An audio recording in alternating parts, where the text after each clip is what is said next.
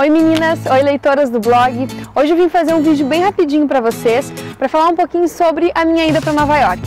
Quem me acompanha nas redes sociais já percebeu a minha euforia, porque em dois dias eu estou embarcando para lá e Nova York é a minha cidade preferida no mundo. Mas a grande pergunta das meninas é, o que exatamente tu vai fazer lá, Mari?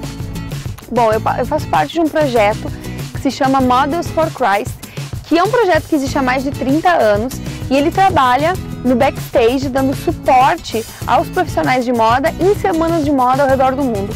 Então é um projeto que trabalha em Paris, em Milão, em Nova York, Londres e nas principais semanas de moda do mundo e as mais pequenas também.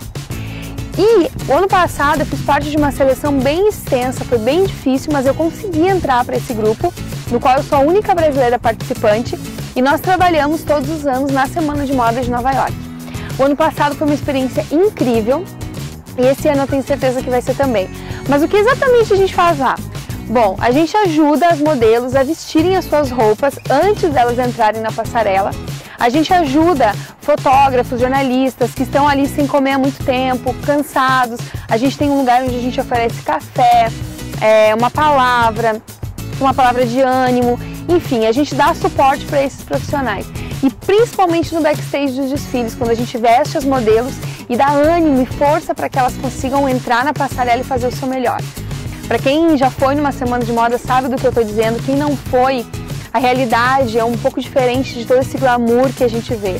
As modelos ficam muitos dias sem comer, algumas é, usam drogas e muitas estão longe da sua família, tem muitas que são menores, menores de idade, então a realidade lá é sempre muito difícil.